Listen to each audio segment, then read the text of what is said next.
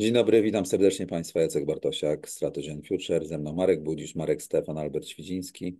E, jak zawsze e, przegląd wydarzeń tygodnia, ale tak naprawdę, jak wiecie doskonale, my po prostu prowadzimy jeden główny temat, e, mając na celu rozwój kultury strategicznej w naszym kochanym państwie. No i cóż, w związku z tym, że nagrywamy 24 kwietnia roku 2024, to wypadałoby odnieść się do tego, co, od, czym żyje społeczeństwo dziennikarze od kilku dni, czyli nuclear sharing, magia nazwy, magia broni atomowej, magia tego patronatu amerykańskiego i oczywiście e, wszystkich komplikacji z tym związanych. E, I postanowił ze względu na to, jak wygląda ta debata i jak ludzie plotą 3 po 3, co to jest nuclear sharing i w ogóle z czym to się wiąże, jakie to ma konsekwencje, takie, siakie, na plus, na minus, postanowiliśmy zrobić o tym program e, w kontekście bezpieczeństwa oczywiście Polski. No więc zacznijmy od podstaw. Czym jest nuclear sharing? Tylko mówmy w kontekście Polski, czym miało to ewentualnie by być i co może mieć na myśli prezydent Duda forsując tą, tą kwestię. Jeżeli uważacie, że zarysowuje się wyraźny spór, tak jak w przypadku tej tarczy powietrznej, tej, tej obrony powietrznej między ośrodkiem rządowym a prezydenckim, pomiędzy stronnictwem neoatlantyckim, a, a powiedziałbym europejskim, to powiedzmy też to, tak? Ja nie wiem jeszcze, yy, czy tak jest, czy to chodzi tylko o władzę, bo rzeczywiście kwestia broni atomowej, nuklearnej to jest bardzo podmiotowa jakaś tam decyzja i, i skutnia statusowa, kto podejmuje tę decyzję, czy stoi za tym coś, coś więcej. Porozmawiajmy o tym. Kto pierwszy? Albert, może po, powiedz dokładnie nuclear sharing społeczeństwu, bardzo proszę. Raport, e, dobrze, e, przepraszam. E, nuclear sharing był odpowiedzią na zagrożenie proliferacji broni jądrowej e, przez Niemcy Zachodnie przede wszystkim. Niemcy Zachodnie obawiały się w momencie, kiedy pod koniec lat 50. Rosja sowiecka opracowała środki przenoszenia, które pozwalały na uderzenia bezpośrednio na terytorium USA, jeżeli te środki były wystrzelone z terytorium ZSRR. Rosja sowiecka, e, Niemcy zachodnie obawiały się, i w ogóle Zachód, państwa Europy Zachodniej, obawiały się, że doktryna odstraszania, którą wcześniej miały Stany Zjednoczone, to znaczy doktryna zmasowanego odwetu Eisenhowera, straciła wiarygodność doktryna zmysłanego odwetu zakładała, że nawet niewielka, niewielka próba ataku, czy jakaś tam taktyka salami w wykonaniu ZSRR spotykałaby się z odpowiedzią przy pomocy broni jądrowej, tak? Znaczącej, e, znaczącego użycia broni jądrowej przez USA. Jeżeli ta doktryna była kiedykolwiek wiarygodna i co, do, i, i, i co do tego są wątpliwości, to na pewno przestała być w momencie, kiedy Sowieci byli w stanie zagrozić Stanom Zjednoczonym bezpośrednio. A, no i wtedy pojawia się presja proliferacyjna w Niemczech Zachodnich chociażby. I w toku bardzo bezwzględnego wykręcania sobie nawzajem rąk przez Stany Zjednoczone yy, i Niemcy Zachodnie, kiedy Niemcy Zachodnie groziły proliferacją, na co absolutnie nie mogły zgodzić się Stany Zjednoczone. Po pierwsze, dlatego, że Stany Zjednoczone chcą kontrolować dynamikę eskalacji wśród swoich sojuszników i nie mogą dać im możliwości takiej, czy, czy bardzo nie życzą sobie, żeby ich sojusznicy mogli rozpocząć wojnę, w tym wojnę jądrową, w którą oni mogli zostać wplątani. Więc, e, więc dlatego zasadniczo Stany nie mogą sobie na to pozwolić. I w tej sytuacji, kiedy Niemcy Zachodnie myślały o tym, czy Adenauer tym groził, a Stany Zjednoczone groziły opuszczeniem e, Niemiec Zachodnich i zostawieniem ich na, że tak powiem, na, na łaskę, na pastwę Sowietów. Więc to było zupełnie bezwzględne. Niemcy Zachodnie groziły wplątaniem USA w wojnę, USA groziły Niemcom Zachodnim porzuceniem. W wyniku tego, z tego co pamiętam, broń jądrowa amerykańska była wcześniej składowana na terenie Niemiec, czy w ogóle państw NATO, ale państwa te nie mają żadnego prawa, prawa jej użycia. To zresztą są różne typy nuclear sharing. I nuclear sharing, które stosowali Sowieci w swoim czasie i Amerykanie tak naprawdę jest, są te same mechanizmy. Panowie, Dobrze, tak? a powiedzmy, bo że mamy 2000... Więc to jest nuclear sharing. Nuclear sharing polega na tym, że broń jądrowa, żeby dokładnie, żeby być precyzyjny, to co prosiłeś. W powszechnym przekonaniu w Polsce panuje, e, czy panuje powszechne przekonanie, że gdyby był ten nuclear sharing w Polsce, to oznaczałoby to, że my moglibyśmy albo ta broń jądrowa była pod naszą kontrolą, albo mogła szybko by znaleźć się pod naszą kontrolą. To jest nieprawda. Broń w ramach, broń jądrowa w ramach nuclear sharing znajduje się nawet pod, pod całkowitą, we wszystkich państwach, w których teraz się znajduje, tak? czyli, czyli w pięciu państwach NATO, e, znajduje się pod całkowitą kontrolą Stanów Zjednoczonych. Aż do momentu, gdy wybuchnie, jak to się nazywa, General War. I to wynika formalno-prawnie, to wynika z zapisów traktatu o nieproliferacji, tak, że, że, że nie można dopuszczać do proliferacji. Tak, tak, znaczy celem tego traktatu jest, w związku z czym nie można przekazywać broni jądrowej innym państwom, w związku z czym wycieczką na ten, znaczy obejściem tego jest, jest zapis, który mówi, że w momencie, kiedy wybucha wojna, to traktat o nieproliferacji przestaje obowiązywać, kiedy traktat o nieproliferacji przestaje obowiązywać, to tą broń jądrową można przekazać państwom sojuszniczym. To jest formalno-prawne zabezpieczenie. Faktycznym powodem jest to, że po raz kolejny Stany nie chcą, żeby państwa sojusznicze decydowały o eskalacji jądrowej. Natomiast. Co to, co to oznacza dla Polski? Tak konkretnie, zwykły Kowalski. Dodajmy jeszcze, muszę jeszcze dodać, bo to, to warto wyjaśnić, że nawet gdyby kongres orzekł, że General War wybuchła, nie ma definicji General War, to jest decyzja polityczna, to nawet wtedy decyzję o użyciu broni jądrowej w ramach nuclear sharing podejmuje prezydent Stanów Zjednoczonych i według formalnych procedur również premier Wielkiej Brytanii i musi wyrazić na to plan jej użycia, wobec czego się ją używa, musi zaakceptować Nuclear Planning Group. Więc, w ramach NATO. W ramach NATO, tak. Więc to nie jest tak, że wsadzamy je na F i lecimy. Marku? Obawiam się, że zaczęliśmy trochę od złej strony, dlatego że Albert podkreślił, co jest zresztą prawdą, że nuclear sharing nie oznacza udostępnienie broni jądrowej państwom, które są członkiem tego programu. Ona, ta broń jądrowa, jej użycie i decyzje z tym związane są nadal w rękach Stanów Zjednoczonych. Ale tu warto moim zdaniem podkreślać inne rzeczy. Znaczy, po pierwsze, sam program nuclear sharing, jeśli chodzi o jego genezę, no, miał znaczenie polityczne, dlatego że odpowiadał na rosnące zaniepokojenie europejskich państw członkowskich, tych, które nie posiadały broni jądrowej, rosnące zagrożenie e, jakąś formułą eskalacyjną ze strony, ze strony Rosji. E, oczywiście było tak, jak Albert mówi, że za, za, za czasów Adenauera Niemcy mieli dość zaawansowany program budowy własnego potencjału nie tylko zresztą oni, również na przykład Szwecja. E, I to było dość powszechne, e, dość powszechne do, do, dążenie. Więc w tym sensie Stany Zjednoczone wykonały pewien ograniczony e, co do skali ruch, wychodząc na przekonanie, na, naprzeciw oczekiwaniom sojuszników z NATO.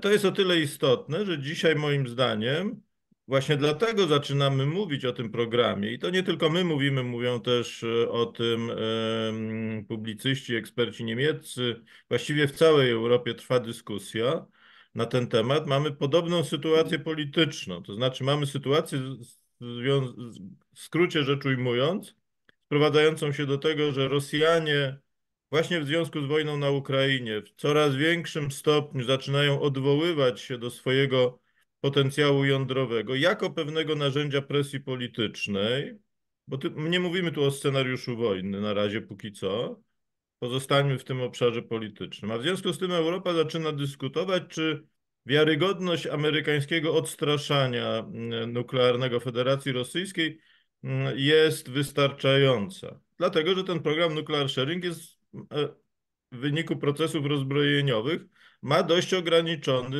mm, wymiar, zarówno ilościowy, bo to jest tam około setki tych y, bomb grawitacyjnych B-61, jak i też jakościowy, no ze względu na fakt, że są to bomby grawitacyjne, trzeba je, trzeba je załadować na y, samoloty zdolne do ich przenoszenia i one muszą być w stanie penetrować rosyjską przestrzeń powietrzną. Po to właśnie, żeby uniknąć tego rodzaju zagrożenia, Rosjanie zaczęli już kilkanaście lat temu rozwijać tę swoją koncepcję baniek antydostępowych, stawiając na, na wzmocnienie przestrzeni powietrznej czy ochrony, uniemożliwić penetrację przez y, samoloty natowskie. NATO ma zdecydowaną przewagę, jeśli chodzi o, o środki, o lotnictwo nad Rosją.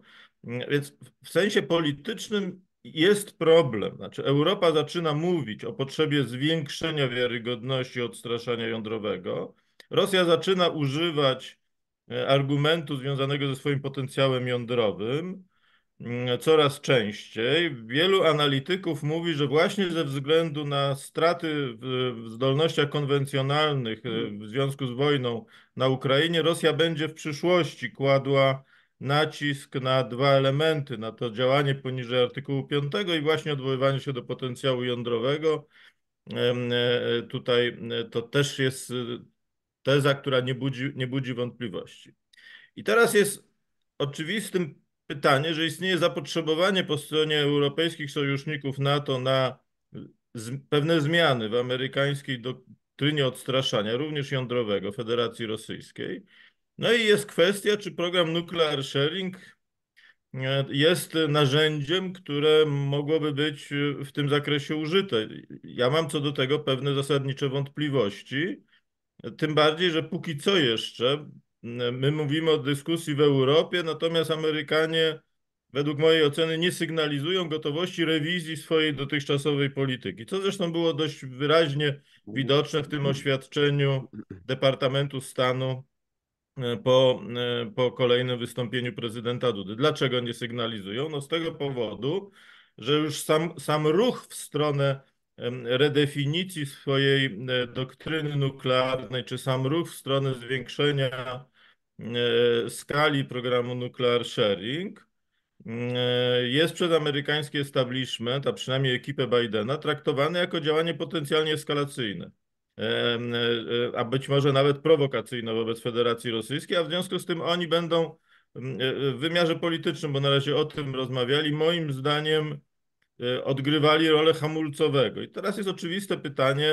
czy siła tej presji europejskiej e, i je- i jej jakość, no bo tu też muszą być rozwiązania, które można implementować, a nie jakieś z kosmosu wzięte propozycje. Na przykład niektórzy niemieccy eksperci mówią o zakupie tysiąca głowic y, No tak, jądrowych. tak, nie, mówimy To, o to, to, to jeżeli my tak będziemy dyskutować jako Europejczycy, to nie osiągniemy niczego. Już, Ale moim zdaniem, Mhm. i już konkluduję, w wymiarze politycznym temat będzie żył. Znaczy jest, jest zapotrzebowanie po stronie europejskich państw NATO i Amerykanie będą naciskani, ażeby, ażeby dokonać pewnych zmian, a w związku z tym pewna koniunktura polityczna być może się, się, się zarysuje. To jest dopiero początek gry, to to jest jeszcze, to z pewnością nie wystarczy sama deklaracja gotowości, to co robi prezydent Duda. To zupełnie, mm, y, chociaż nie warto unikać tego rodzaju deklaracji. No to gra jest znacznie bardziej moim zdaniem skomplikowana i, i, i w gruncie rzeczy chyba wieloletnia. Już, Postępowanie już, już Amerykanów. Marku, Mhm. poczekaj, już Marku Ci oddaję głos, ja tylko wrzucę dwie rzeczy, żeby jeszcze zdynamizować e, rozmowę. E, Marek powiedział o tym, że trzeba inaczej wrzucić Amerykanom piłkę. No Albert pisząc w pisanej książce, pisząc obecną książkę, proponuje, prawda, e, hedżowanie, inne rzeczy, więc tu jest w Future, przyjęliśmy pewien program strategii nuklearnej, czyli jak zmanipulować Amerykanów tak, żeby oni tutaj się bardziej postarali, potencjalnie, tak, oczywiście, przy wszystkich tam zastrzeżeniach. I druga rzecz, którą wrzucę i ciekawy jestem, co Marek Stefan też na to powie, czy w ogóle odpowie na to. Rozmawiałem w poniedziałek z, z Karafaną z Heritage i mu powiedziałem, że y, Amerykanie muszą się trochę postarać bardziej z parasolem nuklearnym, bo rozgrywka jest strategiczna, no po prostu musi być stworzona pewna jakaś tam podstawa symetrii, tak. I on do mnie tak spojrzał na mnie i tak powiedział, prawie powiedział do mnie synu, ale powiedział do mnie tak, My uważamy, że podstawą odstraszania w zakresie nuklearnym jest skuteczne odstraszanie konwencjonalne na flankach. E. I to unieruchamia rosyjską grę nuklearną. No i teraz wam rzucam, co o tym myślicie. Jakaś, Ale ja, logika, to- to, ja to jeszcze dobrze- wrzucę jakaś jedną logika w tym jest. To dobrze. Jeszcze jedną Mhm. kwestię wrzucę, bo musimy zacząć od absolutnych rudymentów, od fundamentów. Bo Ale daj tacy- Markowi się wypowiedzieć, Marku, jeszcze. Ja, ja tylko tą kwestię wrzucę krótko. Są w Polsce tacy ludzie, i nawet niektórzy uznają ich za ekspertów, którzy uważają, że sprowadzenie broni jądrowej na teren Rzeczpospolitej zwiększa zagrożenie. Bo wtedy Zostawmy to Marku na deser. Zostawmy to na deser naszej O tym dyskusji. też powiemy, bo Tak, o tym tak, też tak. powiemy. To, Tak, to, to, dobrze, to dobrze podprowadziłeś, bo właśnie od tego chciałem zacząć. To znaczy, w, w postępowaniu Amerykanów ujawnia się, mówię szeroko o amerykańskim deep state od, y, od, od republikanów po demokratów, pewna ambiwalencja i pewna, można powiedzieć, sprzeczność. Tak? Znaczy, z jednej strony Amerykanie y, mówią o tym, że y, i to bez względu na to, o którym stronnictwie mówimy, tak? To znaczy, że Europejczycy muszą wziąć większą odpowiedzialność za własne związku z tym muszą zwiększać wydatki i tak dalej, i tak dalej. E, zwiększyć obecność również wojskową i zdolności. E, no, tylko problem polega na tym, że e, konsekwencją tego typu myślenia jest również to, że i tutaj to warto zwrócić na to uwagę, że mm, ci Amerykanie, którzy szczególnie o tym głośno mówią, między innymi też Andrew Michta, mówią, czy dodają ostatecznie, że w tak zwanych high-end enablers i jeśli chodzi o warstwę nuklearną, tam Amerykanie będą chcieli być obecni cały czas i oni będą dostarczać ten, ten parasol e, nuklearny. Tylko problem polega na tym, że w momencie, kiedy Amerykanie będą chcieli realizować konsekwent, e, konsekwentnie tą politykę zmniejszania e, konwencjonalnej obecności w Europie, to ze strony sojuszników będzie się pojawiał nacisk, szczególnie mocny, na to, żeby Amerykanie uwiarygadniali się w swojej postawie odstraszania nuklearnego. I tu oczywiście y, rozpoczyna się cała ta dyskusja, która jest powodem mm, naszej dzisiejszej debaty i wymiany zdań, czyli ta próba przeciągania liny i tego, żeby właśnie powiększyć nuclear sharing, co to właściwie oznacza, czy Amerykanie właśnie realnie posiadają te zdolności i w ogóle chęć e, do e, odstraszania ewentualnie użycia broni jądrowej i tak dalej, i tak dalej. Zatem i tu widać, że Amerykanie, tak jak Albert słusznie zauważył, no zdecydowanie tego nie chcą, no bo chcą zachować, można powiedzieć, wszystkie, wszystkie karty trzymać, trzymać przy sobie i w związku z tym nawet po stronie tych, którzy uważają, że Amerykanie powinni zmniejszyć tą konwencjonalną obecność, nie widać w tej chwili jakichś znaczących ruchów, E, czy działań, czy też postulatów, które miałyby sugerować, że ok, w porządku, musimy rozszerzyć nuclear sharing, albo nawet myśleć o innej obecności, czy innej postawie odstraszania nuklearnego, na przykład w postaci stacjonowania regularnego bombowców, tak, na przykład na wschodniej flance NATO. Takie głosy po stronie amerykańskiej od czasu do czasu się pojawiają, Wes Mitchell o tym pisał i tak dalej, natomiast cały czas są to głosy pojedyncze. E, I Amerykanie jak dotąd unikają, tak? Y, można powiedzieć y, też ta strona republikańska takiego twardego, e, takiego twardego podejścia. A skoro mowa o konwencjonalnym odstraszaniu, o którym ci mm, powiedział Karafano, no to warto byłoby zadać pytanie, dlaczego Amerykanów nie ma na stałej obecności w państwach bałtyckich. Tak? To, czyli w tym miejscu, które jest wskazywane potencjalnie jako kolejny punkt zapalny. Tak jak, tak jak byli w Berlinie Zachodnim, o czym Mówiliśmy już wielokrotnie i tak dalej. Teraz nie ma ich w mm, państwach bałtyckich. Oczywiście tam przybywają na ćwiczenia i tak dalej, i tak dalej, ale to nie jest, to nie jest absolutnie to samo. E, I w tej chwili będziemy obserwować to przeciąganie liny, tak? E, I mm, to, jaką strategię wybierzemy, która polega no nie tylko i wyłącznie o mm, na tym, żeby apelować o tym, że, że trzeba rozszerzyć nuclear sharing, ale żeby również wykazywać własną aktywność.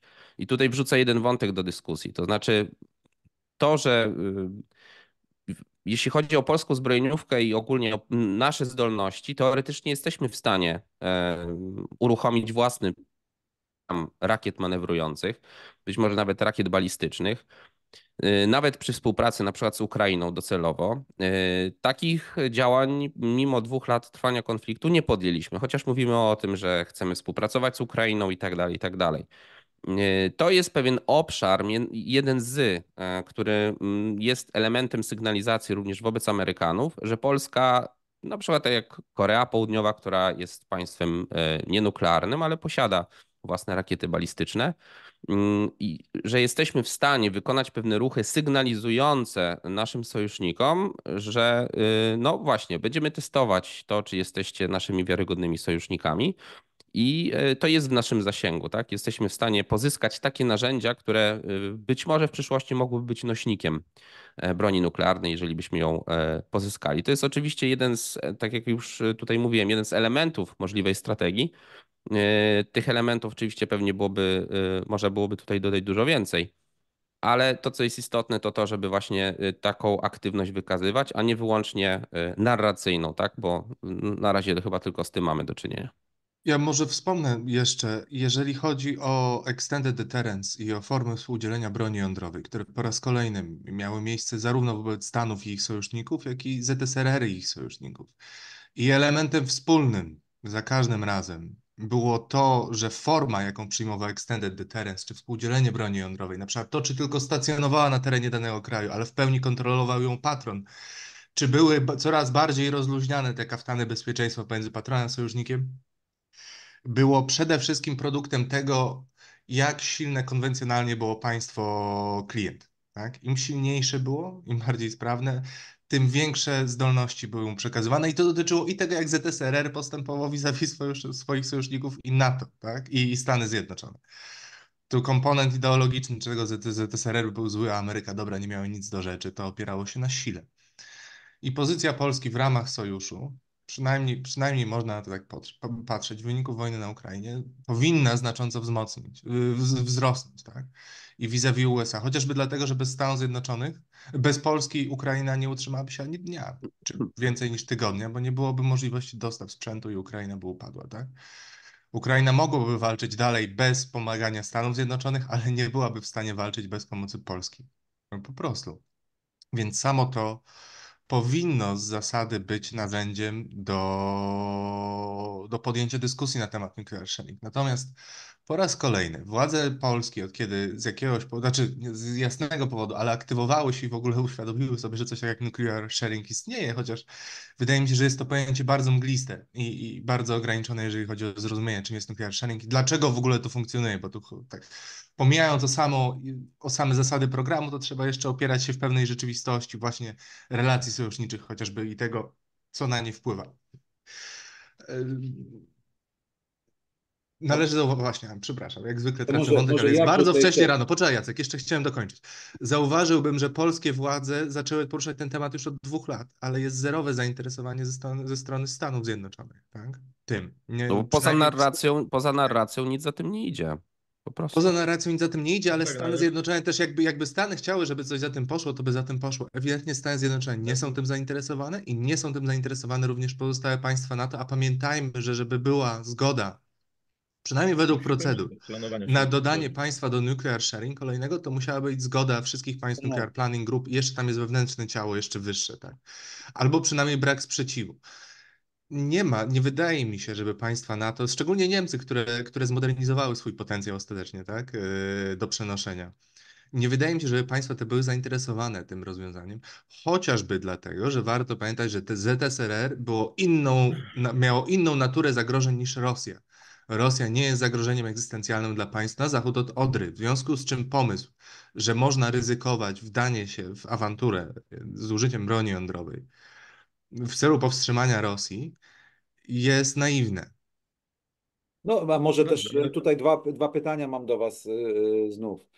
E, A może to jest tak, że też już poza tym, że Amerykanie nie chcą z powodów, które chyba wyjaśniliśmy, może poza tym, że nasi może nie rozumieją, z czym to się wiąże dokładnie, a społeczeństwo raptem myśli, że będziemy mieli dostęp do broni atomowej i to podwyższy, e, to może też jest tak, że po prostu dawałoby no, to jakiś wyższy status w stosunkach międzynarodowych, być może eliminowało jakąś część tej drugiej kategorii członków NATO po przyjęciu do NATO i dlatego Niemcy mogą też tego nie chcieć, tak? Bo w jakiś tam sposób podwyższałoby nasz status. Wiecie, Słuchaj, Politycy są tak. strasznie wyczuleni na punkcie Po statusu raz kolejny. I gry statusowej.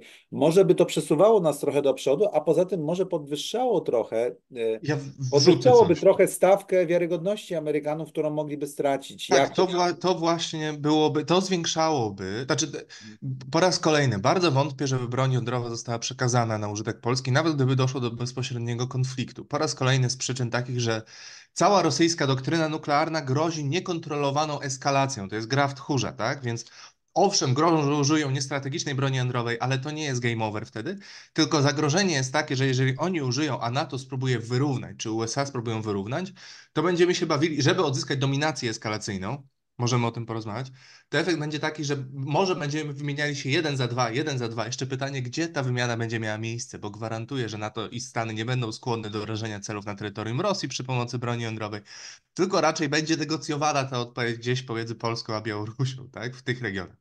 Co zresztą jest po raz kolejny powtórzeniem dyskusji z czasów NATO, gdzie te państwa również się, się Amerykanie liczyli, że broń jądrowa w ramach NATO zostanie użyta w późnym etapie kampanii, czyli na terenie co najmniej Niemiec Zachodnich.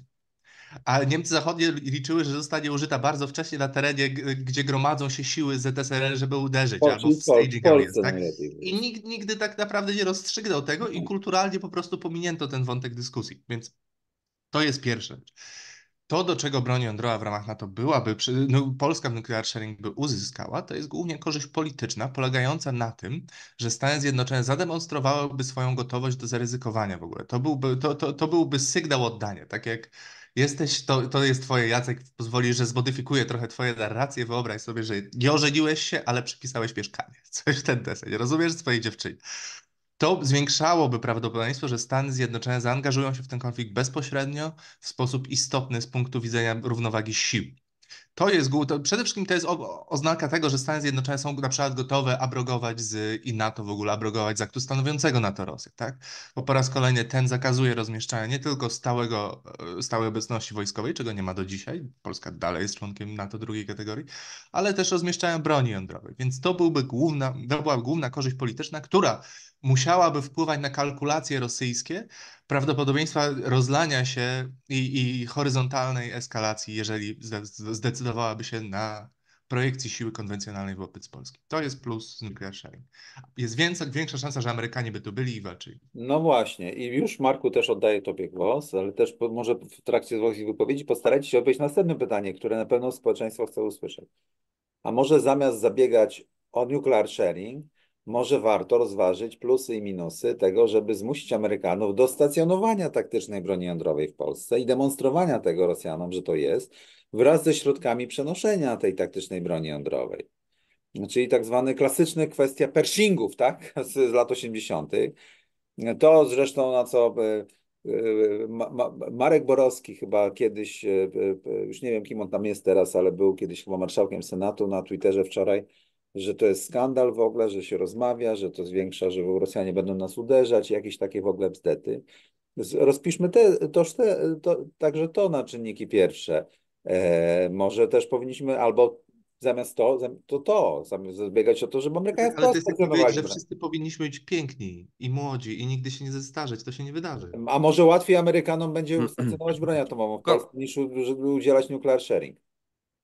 No O ile, ale o, mhm, o ile się zgadzam może z, z, z tym, co, co powiedziałeś, Albercie, że, że, że nie osiągnęlibyśmy tych celów. E, Tylko problem polega na tym, że my nawet nie próbujemy sprawdzić, tak? Znaczy postawić Amerykanów przed takim dylematem, żeby musieli realnie odpowiedzieć na e, tak postawione pytanie. Więc my jesteśmy na etapie, gdzie coś zaczyna, zaczynamy popiskiwać od czasu do czasu, ale de facto nie wykonujemy żadnych ruchów politycznych, które, na które Amerykanie musieliby musieliby zareagować, biorąc pod uwagę to, co już wybrzmiało w naszej dyskusji raz, e, pozycję Polski, tak? czyli e, pewną podstawę do tego, żeby zabierać taki głos i czuć się podmiotowo tak? na, na wschodniej flance. No, ja zresztą w, w mojej pierwszej wypowiedzi to podkreśliłem, co Jacek powiedział. Tak? To znaczy e, właśnie powinniśmy w tej chwili próbować zakomunikować e, Amerykanom, że oczekujemy tego, tak? że na wschodniej flance powinny pojawić się na przykład taktyczne środki e, odstraszania e, i to powinien być Jądrowe, element tej... te ją- jądrowe, jądrowe dodajmy. Tak, tak, tak, tak, dokładnie. E, Vis-a-vis Rosji, która przecież zwróćmy uwagę, że e, rozmieściła własne, mm, e, własne taktyczne mm, ładunki jądrowe na Białorusi. Ostatnio pojawiła się informacja również, że, że będą rozmieszczać system Iskander blisko granicy z, No tak, z tak. Finlandią. Zatem mm, już nie wspomnę oczywiście o Kaliningradzie. Także Rosjanie demonstrują, tak, że mają i środki, i zdolności, a nawet bezpośrednio broń nuklearną w pobliżu państw NATO i nie mamy tutaj cały czas odpowiedzi. Oczywiście pi- pierwszym krokiem do tego, żeby to zrealizować, musiałoby być wypowiedzenie aktu stanowiącego e, e, z, No dobra, z- ale olać tak. już ten akt stanowiący, po prostu powiedzieć Amerykanom, tak, panowie, już nawet palić ale to właśnie nie można, Jacku, z tego, właśnie No, ale- dlatego nie można, że mamy, no, mamy poczekaj. politykę nuklearną w obrębie NATO i Komitet No Planowania. tak, ale wiesz, jest sytuacja nadzwyczajna. Polacy po- mają po- poczucie zagrożenia. Panowie, albo stacjonujecie broń atomową i jednostki amerykańskie z bronią atomową, i środki przenoszenia w Polsce, i to jest nawet lepsze niż nuclear sharing. I Amerykanie wtedy, uwaga na to, to co mi Karafano powiedział, Polacy, uspokójcie się. Konwencjonalne odstraszanie w pełni jest znacznie lepsze wobec gruźb atomowych niż, niż ten. To, co mi Karafano powiedział. No i proszę bardzo, Marek, Marek jeden, Albert, jeden, Albert, Marek jeden, drugi, Albert, jesteście polskimi politykami, mówią wam to prosto w Pentagonie i proszę bardzo argumentacja. No to my w takim razie, że Amerykanie nie chcą się ruszyć e, ani o kroku, mm, zaczynamy realnie pracować nad tym, żeby mm, opracowywać własny program rakiet manewrujących i balistycznych. To w, to w pierwszym kroku, a o kolejnych zaraz możemy porozmawiać. I o hedgingu znaczy, nuklearnym, tak? Niezależnie od jakichkolwiek innych kroków, cały proces hedżowania, czyli zdobywania puzli, z których można złożyć broń jądrową, powinien być rozpoczęty już dawno i może być rozpoczęty jeszcze dzisiaj, niezależnie od tego, czy co Amerykanie nam powiedzą, bo musimy mieć własne środki uderzenia dalekiego zasięgu, nawet jeżeli one faktycznie byłyby konwencjonalne, bo to jest narzędzie do, do, do determinowania dynamiki eskalacji. Z, Musimy z, jeszcze- naciskiem na, z, z naciskiem na własne, a nie na JASMy, których na y, tam system tak, y, dostępu danych i tak dalej będzie ostatecznie zależał od, od, od woli Amerykanów. I w ten sam sposób powinniśmy, znaczy są sposoby, po raz kolejny, pytanie, co chcielibyśmy osiąg- osiągnąć hedżowaniem. I to, to ma drugorzędne znaczenie, ale oczywiście każdy przykład hedżowania, szczególnie jeżeli na przykład chcielibyśmy, bardzo interesowalibyśmy się tym, od kogo kupujemy reaktory jądrowe, bo ich również nie powinniśmy, tej technologii nie powinniśmy kupować od Stanów Zjednoczonych i powinniśmy również upewnić się, że w jak największym stopniu nasi naukowcy mogliby się uczyć z nich. Nawet nie mówię tu o takich rzeczach jak kontrola cyklu paliwowego, czego po raz kolejny nikt nam nie da, bo każdy zrozumie o co tu chodzi. Więc od razu dostaniemy po łapach, próbując się domagać tego. Ale również zwiększając nakłady na ośrodki naukowe, na, na ludzi z reaktora Maria i tak dalej. Tak? To Jacek wspomniał, że to byłby sygnał, który zostałby odebrany. To był dobry, subtelny przykład tego. Tak? Tak, że o, my teraz kontrolujemy cykl paliwowy, to jest fikcja, tak? bo nikt nam na to nie pozwoli.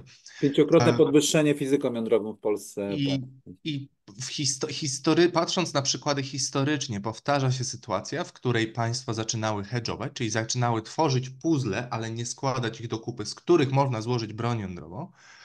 W momencie, kiedy państwa zaczynały hedżować, Stany Zjednoczone reagowały na to i były świadome, że to się dzieje, pomijając już taką sytuację, kiedy właściwie miały te puzzle złożone, ale nie demonstrowały, że mają broń jądrową, co robiły również państwa współpracujące ze Stanami, ale nie będące ich formalnymi sojusznikami. Po raz kolejny, jak jesteś formalnym sojusznikiem USA, albo nie jesteś, ale po prostu Stanom nie zależy na tym, żebyś miał broń jądrową, to jej nie będziesz miał, bo Stany ci zestrzelą ten program, tak? No Jak zestrzeliły Tajwanowi. No dobrze, Więc- ale Co jeszcze robisz? ja, Marek, jeszcze ja muszę jedno zdanie, bo dzisiaj tak najmniej mówię z was wszystkich. Konkretnie, siedzimy sobie w Pentagonie, tak? I oni tak mówią, panowie, ale konwencjonalne straszanie. No dobra, więc my mamy No to napad, idziemy sobie na kanapki i sobie na, i Marek Stefan mówi, dobra, mu- sugerujemy im, że hedżujemy, tak? Dzwonimy do Dobra. Warszawy, podwyższajcie pensję fizykom, robimy i tak dalej, ale to mało. Oni dalej my ugięci nie wierzą. To oczywiście próbują rozbijać naszą jedność i będą ma- próbować manipulować Jacek. policją, ale momencik. Jak konwencjonalnymi zachowaniami wobec modernizacji Wojska Polskiego konwencjonalnego można też wpłynąć na tę decyzję Amerykanów, żeby rozmieścili broń atomową? Pomyślmy nad tym. Wiesz, teraz. Jacek, przede wszystkim to owszem jest narzędzie, to, to byłoby narzędzie do weryfikowania poziomu zaangażowania Stanów Zjednoczonych. Ale ta weryfikacja, choćbyś się, choćbyś nie wiem co zrobił, ta weryfikacja przebiegnie negatywnie, bo to jest drugorzędny teatr do USA i nikt z dwoma komórkami mózgu w Stanach Zjednoczonych nie zgodziłby się na rozmieszczenie broni jądrowej w Polsce, bo to jest wbrew ich interesom, nie dostaniesz tego. To jeżeli chcesz zweryfikować, jak wygląda rzeczywistość, to można to zweryfikować, ale ci mogę powiedzieć, jak wygląda rzeczywistość. Właśnie to zrobiłem. To jest drugorzędny teatr. Jesus Christ. My poruszamy się w Rozumiem. sferze fantazji, Jacek. Nie Ale- dostaniesz tego. Ale wiesz o W tym, że związku z czym, kiedy nie dostaniesz tego, przechodzisz do porządku dziennego nad rzeczywistością, w której Tak się jest. znajdujesz. To jest nieistotny Ty- do USA tylko- i się a- a- zesrał, oni ci tego nie dadzą, bo to Albercie, jest... obawiam się, że w tej fantazji i w tej iluzji tkwi nie tylko polskie społeczeństwo, ale także społeczeństwa z y, większości państw wschodniej flanki NATO. Tak, tak. I w ogóle To- debata, to- posłuchaj Albert debaty, ja się wypowiadałem teraz. I dlatego trzeba, i dlatego trzeba tę sprawę w ten sposób poprowadzić. To prawda. I No dlatego wtedy politycy muszą się takie przekonać. Ciekawe pytanie zaczyna się w momencie, kiedy przejdziemy do porządku nad rzeczywistością, to znaczy nad tym, że Stany Zjednoczone nam tego nie dadzą, bo no, niesie to ze sobą ogromne ryzyka w drugorzędnym teatrze wobec regionalnej potęgi, która nie ma zdolności, żeby zdominować ten kontynent. I co wtedy robisz? A znajdujesz się, i to jest ogromne ryzyko tutaj, bo znajdujesz się cały czas w formalnym sojuszu ze Stanami. I kiedy jesteś w formalnym sojuszu ze Stanami, to one nie dadzą ci prawa do posiadania broni jądrowej. Bywały Ale sytuacje, że współpracowały z. PSRR, żeby powstrzymać programy jądrowe swoich sojuszników. Ja bym proponował, żebyśmy wyszli poza ten y, mechanizm rozumowania w Polsce, który jest powszechny, a mianowicie adresowania wszystkich naszych starań do naszego sojusznika amerykańskiego. Znaczy, bo, bo to nawet też widać w naszej rozmowie. Znaczy, my się zastanawiamy, co zrobić, żeby nasz sojusznik, nimi, tak. żeby nasz sojusznik amerykański zmienił swoją doktrynę e, e, e, extended deterrence i przesunął akcenty w tym miksie konwencjonalno-jądrowym na rzecz obrony konwencjonalnej w sytuacji, kiedy na poziomie wojskowym oni uważają, że większe znaczenie, bo daje większą elastyczność reagowania ma potencjał odstraszania konwencjonalnego. Więc w tym sensie to jest pewien problem polskiego mindsetu, tego stanu umysłu, który po pierwsze zakłada, że my możemy uzyskać bezpieczeństwo wyłącznie w obrębie systemu kolektywnego, co nas, y, co nas po prostu zwyczajnie ogranicza, dlatego że albo nie jesteśmy w stanie doprowadzić do y, abrogacji aktu stanowiącego Rosja NATO, Tak. E, a tym bardziej tak zwanej doktryny trzy razy nie, czyli tego wspólnego oświadczenia ambasadorów państw NATO, które towarzyszyło też e, tej, e, tej doktrynie. I w ogóle widzimy nuclear sharing jako jedyną opcję odpowiedzi na rosnące zaniepokojenie w związku z, z rosyjską polityką, polityką nuklearną. No, elementem też tego myślenia jest ta postawa, o której tutaj była mowa, czyli to zupełnie dziecinne myślenie, iż jak będziemy mieli broń jądrową, no to Rosjanie nas na pewno zaatakują, bo bez broni jądrowej z pewnością nie. No to jest przecież bzdura. To ktoś, kto tak wypowiada takie sądy, kompromituje się. Znaczy, to przedstawiciel naszych elit politycznych, Marku, przypominam ci. Elit to jest duży komplement pod adresem wypowiadających takie słowa. Natomiast e, t- tu, tu na tym przykładzie widać bardzo wyraźnie różnicę na przykład między przywoływaną Koreą a Rzeczpospolitą. Znaczy, społeczeństwo koreańskie w swojej większości to zdecydowane i uważa, że Korea powinna dysponować bronią jądrową. Mało tego, uważa, że powinna dysponować własną bronią jądrową, właśnie po to, żeby mieć swobodę e, reagowania na sytuację e, zagrożenia ze strony, ze strony Korei Północnej. No prawie my- 70% społeczeństwa i to co Tak, ciekawe, badania te zostały, pokazują. badania, jedne z, właśnie między innymi te badania są zlecane przez amerykańskie think tanki, to jest też ciekawe. No tak, a my, a my prosimy naszych sojuszników, proszę was, dostrzeżcie to, że my jesteśmy coraz mniej, y, czujemy się bezpieczni, a, a jesteśmy przecież dobrymi sojusznikami, coraz więcej wydajemy, pakujemy dziesiątki miliardów dolarów w wasz sektor produkcji broni, w związku z tym no, moglibyście też coś nas y, y, uwzględnić. No, polityka suplikacji, to jest, e, e, ja bym to tak, e, tak określił. Natomiast e, e, e, to, to, to, to, na tym poziomie trzeba przede wszystkim akcentować nasze, e, nasze, e, nasze myślenie. Znaczy musimy zmienić ten stan umysłu i poziom troski o nasze, o nasze bezpieczeństwo. E, e, Zacząć wreszcie traktować NATO przez pryzmat artykułu trzeciego, a nie artykułu 5, a my dostrzegamy tylko ten jeden. No to uczmy się, jak już nie od e, zachodnich Europejczyków, To od Finów. uczmy się od, od Skandynawów chociażby. Mhm. Skandynawowie mają trochę jednak inne w tym zakresie, w tym zakresie podejście. I to jest jakby pierwszy element, który powoduje, niezależnie od postawy Ameryki, to, że wszystkie te nasze starania będą staraniami moim zdaniem nieskutecznymi i w gruncie rzeczy obliczonymi tylko na jakieś działania PR-owskie, doraźną walkę polityczną. Zresztą tak samo e, e, wygląda ta cała propozycja przystąpienia Polski do e, European Sky Shield Initiative. No to w gruncie rzeczy, e, gdyby ją poważnie traktować, bo to nie jest poważna deklaracja, to na to samo, na to samo wygląda. Bo jeżeli mówimy o miksie odstraszania, sił, środków konwencjonalnych i środków e, e, atomowych, to, to chociaż uzyskajmy wzmocnienie naszych własnych zdolności odstraszania w zakresie środków konwencjonalnych jako pierwszy krok na rzecz potem być może uzyskania lepszego statusu na poziomie jądrowym. A co my robimy? No My robimy opcję zupełnie w przeciwnym kierunku. Kotwiczenia, kotwiczenia za wszelką cenę i usłyszenia Więc tym, tak, więc w tym sensie te, te, te, te kwestie wojskowe w moim odczuciu nie, nie, nie to, że nie są nieważne, moglibyśmy o, to, o, o tym długo dyskutować, E, Być może jakieś pożytki e, nasze lotnictwo wyniosłoby z,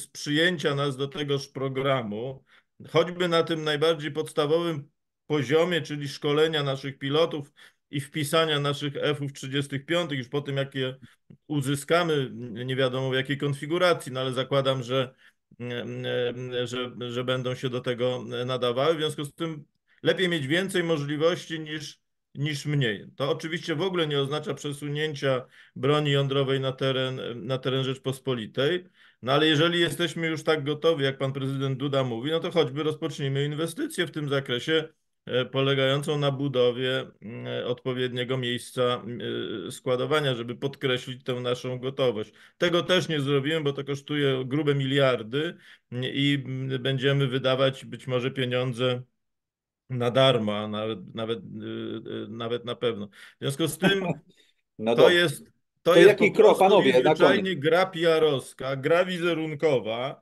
polegająca na myśleniu polityków, którzy uważają, że jak mówimy o pewnych rzeczach, oni trochę się zachowują jak stwórca. No, słowo stało się ciałem. Mówię to w związku z tym przybliżam się do rozwiązania e, pozytywnego pewnych, e, pewnych problemów. No nie jest tak niestety. Dobrze, że oni w ogóle dostrzegli pro, pro, e, nuclear.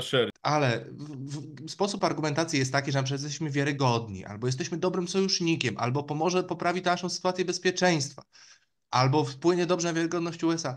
To są argumenty tak infantylne, że właściwie nie, ma- nie ma co zbierać, tak? Albo Próbujemy wyślemy naszą armię Ameryka- do obrony Bałtów, żeby Amerykanie nie musieli tego Tak. robić. No to też Tak, jest to- taka to- narracja. to- To jest nasz obowiązek sojuszniczy. Ale nie, to jest, nasze jest wojsko, gorzej, będziemy bronić Marek. Bałtów, a sami będziemy nie, O, nie Jest bronili. gorzej. Zrobimy to specjalnie już w trakcie wojny, żeby uruchomić poczucie u Amerykanów, że podwójny Nelson.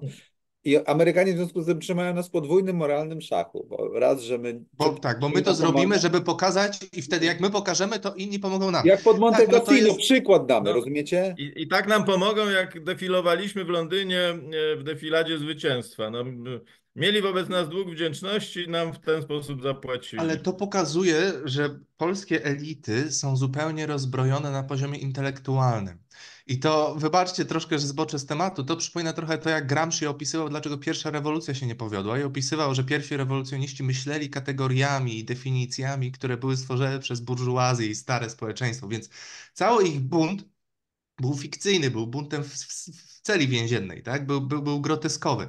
I teraz nasze próby tworzone, co, argumentowane przy pomocy instrumentarium, które Amerykanie stworzyli dla tak naprawdę ochrony swoich interesów, o wartościach i tak dalej, jest buntem groteskowym, tak? Bo to, to nie ma żadnych szans powodzenia. Natomiast kiedy mówimy, ja muszę to wrócić do tego, Marku, bo Marku budzisz, bo, bo rozmawiałem o tym z Jackiem ostatnio. Jak ty mówisz, że to trudno mówić, że to są elity, to jest właśnie nie, to spójrz się na nich, przyjrzyj się im, aż będą ci boleć oczy i, i zdajmy sobie wszyscy sprawę, bo ja to, to często ludzie mówią, nie mówmy o nich jako o elitach. Nie, to są nasze elity.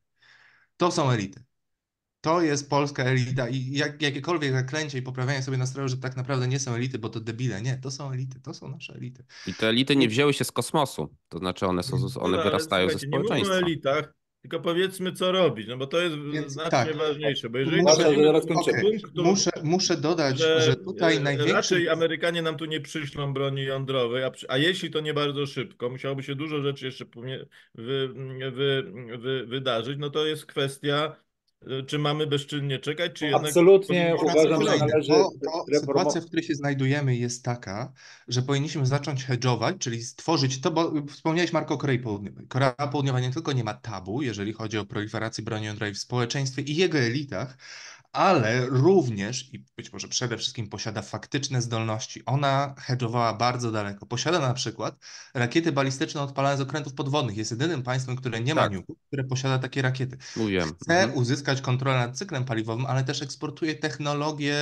cywilne, y, energe, energetyki atomowej. No ma To energetykę sprawia- jądrową. To my jesteśmy Tak. dalej niż Bułgaria czy Słowacja pod tym względem. Znaczy, Bangladesz. Pierwszy krok Bangladesz, od Marko. Południowa, panowie, poczekajcie. powinien być dążenie do Korea- uruchomienia energetyki jądrowej. Korea Południowa posiada innymi słowy wszystkie puzzle i tylko od woli politycznej i- i tamtejszych elit zależy, czy zostaną one złożone w całość, czy nie. To jest to rozwiązanie i zauważmy, że w ostatnim, w zeszłym roku Stany Zjednoczone poczyniły pewne koncesje względem Korei Południowej. Korea Południowa prowadziła zresztą swój program jądrowy w swoim Japonii. czasie, tak? Za, dość zaangażowany. W latach Japonii. Japonia, Japonia też jest takim państwem, Tak. tak? Natomiast, więc powinniśmy to robić jeszcze dzisiaj. Ja powiem inaczej. To, co jest dla nas ogromnym zagrożeniem, bo po raz kolejny, dopóki jesteśmy w formalnym sojuszu ze Stanami Zjednoczonymi, próba zdobycia broni jądrowej zakończy się porażką, zostanie nam to zabrane. To się nie wydarzy, nie ma szans. Amerykanie nie pozwolą na to. Dopóki świat funkcjonuje w tych ramach, w których funkcjonuje, nie uda nam się tego uzyskać, bez, je, dalej będąc nie tylko członkiem NATO, ale w ogóle w jakimkolwiek formalnym sojuszu z USA. Zabiorą nam te zabawki, nie uda się. Ryzykiem, które grozi nam teraz, paradoksalnie jest to, że NATO będzie żyło dalej, ale coraz bardziej w formie zombie. To znaczy będzie następowało coraz dalsze ograniczenie interesów Stanów w Europie. Państwa Europy Zachodniej po raz kolejny w interesie Niemiec jest zakończenie tej wojny i powrót do pozyskiwania energii od Rosji. To, to, to, to oni już teraz umierają, tak? A jeszcze nie wspominając o tym, że Stany chciałyby, żeby ograniczyły handel z Chinami. To już podwójnie wstrzeliby sobie w głowę. Ryzyko jest no i takie, że będzie, że wraz, że wraz z odchodzeniem Stanów Zjednoczonych z Europy, faktem, że Rosja nie stanowi zagrożenia na zachód od nas, ale jednocześnie NATO funkcjonuje siłą inercji dalej, pasywnie, po prostu jak Liga Narodów i tak dalej, tak? Jako martwa instytucja, będziemy dalej trzymani w sytuacji, w której nie możemy rozwinąć broni jądrowej, bo formalnie znajdujemy się w sojuszu z USA i to, tu, tu jest pewne niebezpieczeństwo. To No jest tak, bardzo rzeczy. co robić. Znaczy to po pierwsze tak, uruchomić energetykę jądrową. Po drugie, zacząć wreszcie poważnie rozmawiać o sprawach bezpieczeństwa, a nie uprawiać PR-owskie sztuczki. Po trzecie, ym, zbudować własny system obrony przestrzeni powietrznej Polski o, w oparciu o własne zdolności, też i przemysłowe, bo to jest tego element. Po czwarte, trzeba rozbudować ten system o rakiety zdolne do atakowania celów y, y, na głębokich tyłach rosyjskich, czyli zbudować własny kompleks rozpoznawczo-uderzeniowy, Tak to o jest. czym wiele razy. Mówimy. Rozwój cywilnych zastosowań e, jądrowych i cały, i cały ten, nazwijmy to, łańcuch produktowy jest też tego elementem. I to wszystko I wojsko, i tak- wojsko konwencjonalne zdolne do konwencjonalnej eskalacji na Białorusi i obwodzie kaliningradzkim wraz Oczywiście. z dowodzeniem I to naszym. wszystko trzeba zacząć robić, żeby w ogóle I zbudować. ćwiczące. I, ćwi... I Tak, żeby zbudować fundamenty poważnego postawienia kwestii zmiany charakteru extended deterrence amerykańskiego Tak. w Europie Środkowej, bo wtedy pokazujemy Amerykanom, ale też i naszym sojusznikom z Europy Zachodniej, którzy nie są zainteresowani e, zmianą obecnego status quo, po- pokazujemy, że mamy realne opcje i realne możliwości. Jeżeli tego wszystkiego nie robimy, a ograniczamy się tylko do składania deklaracji czy, czy, czy artykułowania zaniepokojenia sytuacją, no to skuteczność tego rodzaju działań jest bardzo ograniczona. Ja nie mówię, że tego nie warto robić. Ja uważam, mm, że, że, że, że być może warto o tym mówić, też komunikować naszym sojusznikom, iż czujemy się mm, mm, zagrożeni. Natomiast y, no bądźmy wreszcie dorosłymi mężczyznami i zrozummy, że od samego mówienia jeszcze się nic nie dzieje. E, To, mm, to nie tak ten świat jest urządzony. Musimy zacząć pewne, mm, pewne, pewne ruchy. A my na razie, jeżeli chodzi o naszą politykę, tak ja to oceniam, robimy ruchy w zupełnie innym kierunku. We wszystkich e, dziedzinach, które mogłyby nas nawet niewielkimi kroczkami przybliżać do uzyskania tego efektu, idziemy w drugą stronę zupełnie, czyli ograniczamy nasze możliwości i nasze aspiracje, natomiast podkręcamy retorykę. Tak. To się narażamy na śmieszność w tym zakresie. To jeszcze uzupełnię może to, co Marek powiedział, o dwie rzeczy, w tym jedną taką propozycję do dyskusji. E, Pierwsza oczywiście taka, że elementem tych kroków, o których Marek powiedział i o których tutaj mówiliśmy, też powinny być zmiany doktrynalne, w tym komunikowanie poprzez te doktryny otwarcie, tak? E, Jaka jest, e, jakie są nasze plany na przykład w wypadku wybuchu kon, konfliktu e, konwencjonalnego, na przykład wobec obwodu kaliningradzkiego, tak? Ćwiczenie tych zdolności przez nasze siły konwencjonalne, czyli też demonstrowanie tego, że mamy taką wolę i zdolności, żeby, mm, żeby te doktryny po prostu wypełnić realną treścią w przypadku konfliktu. I jeszcze jeden element, odnosząc się do tego, co Marek też wcześniej powiedział, że my skupiamy się tak bardzo na tych relacjach między nami a Stanami Zjednoczonymi, tak? Być może, i to oczywiście do dyskusji nie rozstrzygam, Ale biorąc pod uwagę stanowisko Macrona, które przecież również stało się w ostatnim czasie dosyć jastrzębie, i Macron coraz o- ostrzej mówi na temat y, Rosji, na temat zaangażowania również potencjalnego na Ukrainie, być może również powinniśmy powiedzieć sprawdzam w wymiarze y, nuklearnym Francji. Tak? Nie, nie mówię tutaj o, o, oczywiście o tym, żeby, mm, żeby Francja, no, to, to jest jakby osobna kwestia, tak, jeśli chodzi o francuską doktrynę, ale być może powinniśmy zaproponować Francuzom, żeby y, stacjonowali własne myśliwce Rafale z, y, z, bronią, z bronią jądrową, ćwiczyli tak, na wschodniej France. Spróbujmy, przetestujmy, zobaczymy, co powiedzą. To również mógł być element tak, tej naszej polityki, aktywności, tak, a nie reaktywności, wyłącznie bazowania na narracji. Dobra, panowie, kończymy. Myślę, że to był bardzo udany program pod tym względem. Mam nadzieję, że trochę e, potrząśnie opinią e, publiczną, która zacznie zadawać trochę trudniejsze pytania, a nie będzie łykać wszystko e, w tej narracji. I będzie stawiać większe wymagania naszym elitom, tak, które reprezentują No, polskie tego i negocjują, negocjują nasz status bezpieczeństwa i inne statusy w relacjach międzynarodowych. Najgorsze jest to, że ja zdradzę ci, że sądzę, że ci, którzy zaczynają poruszać ten temat w ramach naszych elit, bo to są nasze elity, to są ludzie, którzy podejmują decyzje o naszym bezpieczeństwie, to są nasze elity, oni muszą być z siebie dumni, że zrobili dużo dla Rzeczpospolitej i postarali się, tak? Wyszli przed szereg. Niech Bóg ma nas w opiece. Dziękuję panowie. Marek Budzisz, Marek Stefan, Albert Świdziński, Jacek Bartosiak.